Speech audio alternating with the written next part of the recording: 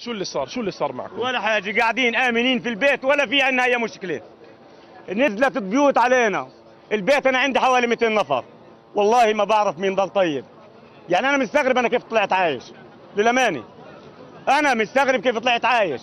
لكن أنا طلعت عايش عشان أوصل الرسالة للعدو ولأمريكا ولأوروبا ولكل دول العالم بانه الشعب الفلسطيني لن يقهر وسينتصر عاجلا أم اجلا؟ وهذه المعركة هي معركة الانتصار ومعركه معركة القدس. مهما طال الزمن أو قصر انتهى الموضوع. لا في مجال ما حدش يحكي عن هدنة ولا حدا يحكي عن سلام ولا حدا يحكي عن أي حاجة.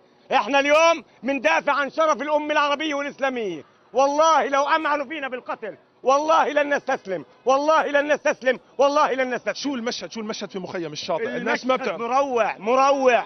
جثث جثث أشلاء بيوت بتنزل على على ساكنيها. هم بيفكروا بدنا نتهجر بيفكروا إنه بدنا نروح على مصر؟ والله هيهات هم بك- بيعرفوش طبيعة طبيعة الفلسطيني. إحنا هاليوم ماتوا اولادي وماتوا إخواتي. أنا هيني مزروع في البيت وبدي أروح أرفع الركام وأنام في البيت. وإذا كان راجل نتنياهو يضرب كمان مرة. وين نروح؟ هو هبيلي لا المرة هذه فيش يروح على مصر. المرة هذه علينا على أرضنا على فلسطين على القدس. والله والله والله مهما امعنوا فينا في القتل قتلوا الأطفال قتلوا النساء لن نستسلم ولن نرحل من هذه